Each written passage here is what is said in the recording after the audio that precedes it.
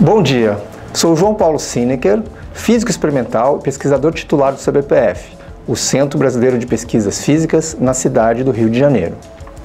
É com enorme prazer que o CBPF, unidade vinculada ao Ministério de Ciência, Tecnologia e Inovações, participa do primeiro mês nacional de Ciência, Tecnologia e Inovações.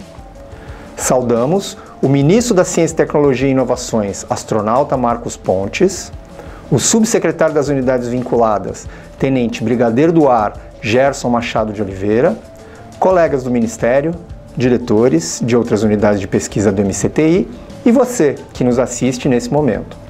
O dia de hoje será totalmente dedicado ao CBPF, cuja sede está no que muitos consideram o coração do Rio de Janeiro. Um local privilegiado, na zona sul carioca, entre o Pão de Açúcar e o Cristo Redentor. Depois dessa apresentação inicial, na qual exibiremos quatro vídeos, teremos uma programação de palestras imperdíveis dados por especialistas de renome. Portanto, não perca! Nessa sequência de quatro vídeos, daremos uma ampla apresentação sobre o CBPF, de suas origens na década de 1940, a sua situação atual e a seu futuro próximo. Então fique conosco e assista a esse material sobre esses três momentos do CBPF um Instituto Brasileiro no coração do Rio, com os olhos voltados para o mundo.